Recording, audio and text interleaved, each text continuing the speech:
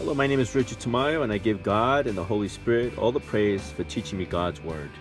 Today we're going to be talking about stoning, a form of judgment.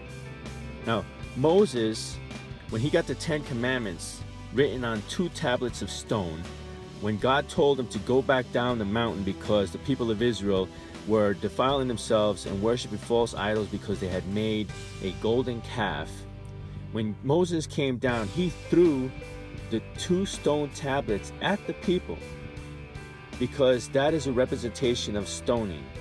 The Ten Commandments and the stone, he was stoning the people.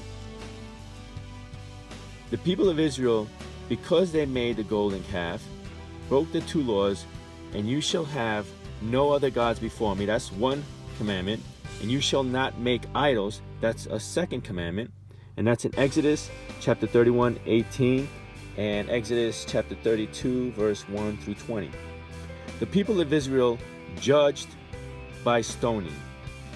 Now, in the story in the book of Joshua, when God sent the people to go against a certain people, he said, Do not take anything, do not take the gold and the silver. But there was a man named Achan who takes the gold, silver, gold and the silver, which he coveted, and it said, Thou shalt not covet. That's one of the commandments of the Ten Commandments.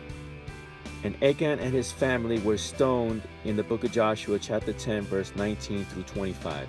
They were stoned because he coveted the silver and the gold after God had told him not to. And because he did that, the people of Israel lost that battle and many people died. Do not defy God's law.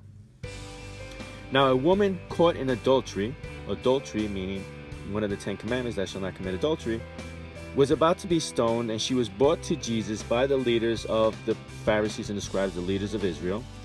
They brought him to Jesus. Now God laid in my heart, when Jesus bent down and to write on the ground, he bent down twice, and God showed me that Jesus, with the finger of God, was stooping down onto the stone, onto the ground, which is made of stone, and was writing the Ten Commandments. The first time he bent down, five commandments. The second time he bent down, another five commandments. So that the people of Israel, the leaders, could say, the, the one who has no sin against them, let him cast the first stone. Well, none of them could when they read the Ten Commandments that were written with the finger of God, the finger of Jesus, on the ground, and they walked off and that's in the book of John, chapter 8, verse 3 through 11. God judges the foundation of the economy. The economy is what governments stand on. That is the foundation of every government and every kingdom is the economy, the wealth. And he stones, now check this out, this is awesome. When King Nebuchadnezzar had a dream of this image, the image was gold, silver, brass, iron, clay, and it depicted the kingdoms because it says that the gold represented King Nebuchadnezzar's kingdom. Well, it says that a stone was taken without hand, a stone was taken from a mountain, and it was thrown and bashed up against the statue, the image of gold, silver, clay, and brass. This is God stoning the kingdoms and judging the kingdoms with the stone that he is stoning that statue that represents these kingdoms.